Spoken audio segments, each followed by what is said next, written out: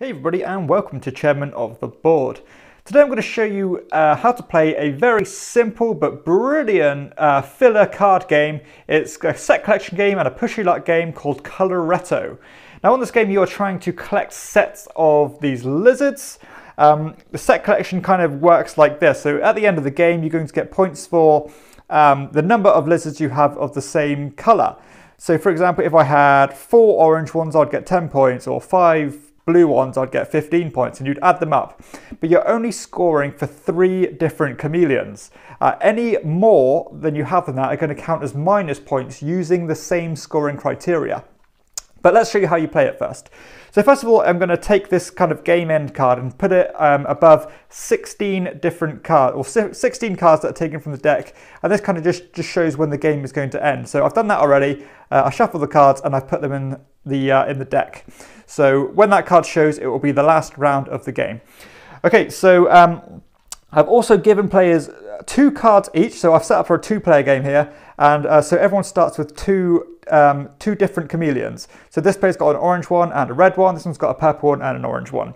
And I've also set up for a two-player game here. So I will say the two-player game is a very, very slight variation, but the gameplay is exactly the same. So basically, in a two-player game, you start with these cards. So you've got this what this kind of one column here that can hold one card, this one here that can hold two cards, and this one here that can hold three cards.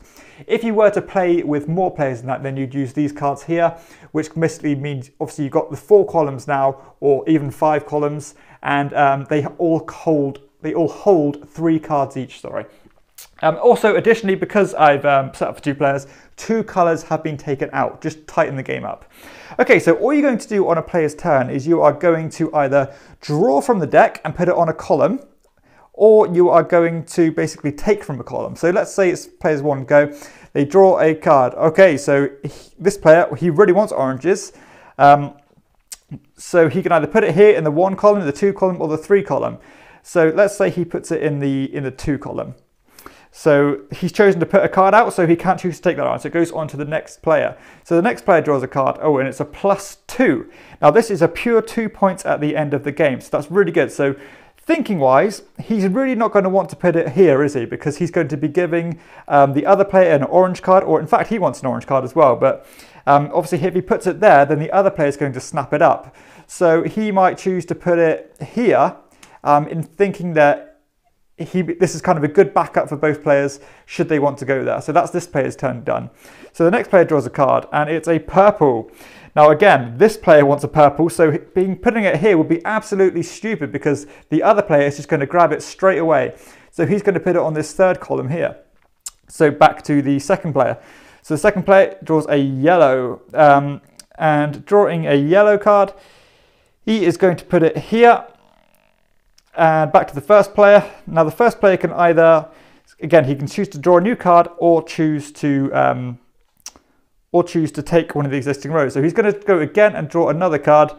And again, he's not going to want to put it in this third row because then the other player is going to get two yellow cards and a purple card, which will suit him really well because remember, he is trying to collect three different colors. So he hasn't decided on his third color yet. So choosing this one would be a really good deal. So he's going to put it on this row here. And then finally, the, um, the second player is going to draw again, and he has drawn another yellow card, which actually gives his rival player um, a bit of a conundrum because if he takes this column here, he's going to get a purple and two yellows. He's obviously got an orange and a red already, so he's already going to be at minus points. So to fall back on that, he is going to take this column here, and he's got his third colour, and he's got his second yellow card. So now there's no other spots. So this spot's now exhausted. You can't use that. Um, so this other, this other two columns are just free for the takings. So he will grab this one here. So he's got two yellow cards and a purple card for endgame scoring. So that's a particularly good round for this player. And basically the column that isn't taken is discarded. And that's basically how the game works. It's going to just keep going until the end card end card comes up. I will say there's some other cards in here that um, spice the game up a bit too. So you've got these chameleon cards. They are basically wild, so they're, they're very, very lucrative. And you've also got these golden chameleons here, which not only counts as a wild, but it will also make you or force you to draw another card off the top of the deck, which can obviously be good or bad.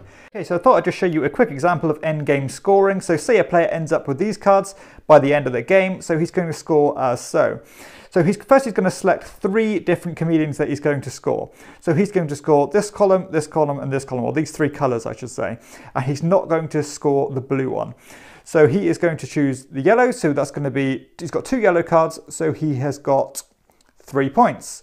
And then he's got five purple cards, which is going to be 15 points. But he's also collected this wild card. So he adds that to that column, which means it pushes that score up to 21 points. And then he's got the red ones here, which he's got three of those. So that's going to be six points. And finally, he's got one odd blue one, which is going to be minus one point. And then he's got these, uh, these row kind of plus twos, which is going to be an additional plus four points. So all in all, he's going to get, let's say, three uh, up to 24, up to um, 30 points, take away one to 29, and then plus four up to 33. And that is going to be his endgame score. So that's how the scoring works.